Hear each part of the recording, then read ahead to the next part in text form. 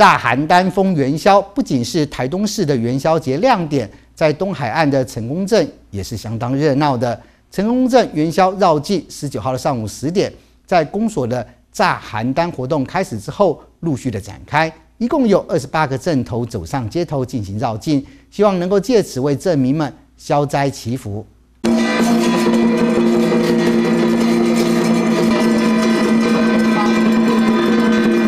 开箱仪式隆重盛大的举行之后，炮手一手拿着香，另一手拿着鞭炮，邯郸爷站上轿子，便开始炸了起来。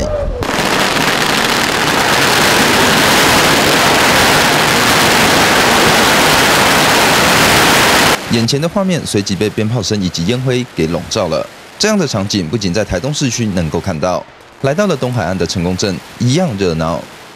在早期的时候，只有我们台东哈市区有寺庙绕境，然后炸邯郸的一个活动。但是在过去的五年、六年哈，我们成功镇公所都有办理这样，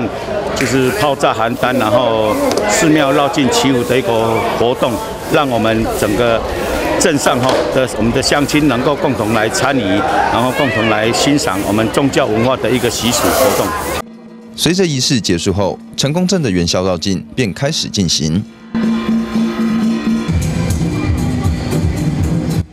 今年呢，我们有二十八个镇头、二十九个公庙呢，共同来参与这么有意义的一个活动哈。我们的活动从今天早上十点在镇公所呢。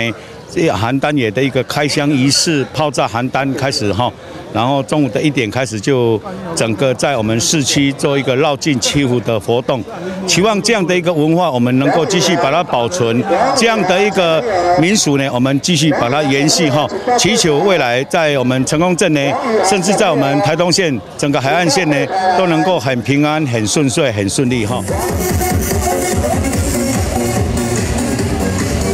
庞大的绕境队伍竟然高达二十八个，比起台东市区毫不逊色。希望借此能为成功镇消除灾厄，带来好运。盼望在新的一年能够诸事平安。而其中相当重要的文化意涵，更是可贵之处。即使远在东海岸的成功镇上，一样让民众们炸邯郸、封元宵。